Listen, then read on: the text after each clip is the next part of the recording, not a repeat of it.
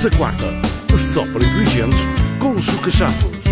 Eu gostaria de agradecer, quer dizer, não gostaria coisa nenhuma, porque eu não preciso agradecer que vocês estão assistindo de graça. Eu vou sair pelo fundo. O espermatozoide tem uma evolução de idade. Se ele é que vai decidir quando é que faz ou não faz o filho na gente, Não perca, nesta quarta, só para inteligentes, às 10 da noite, aqui na RTV. Ha.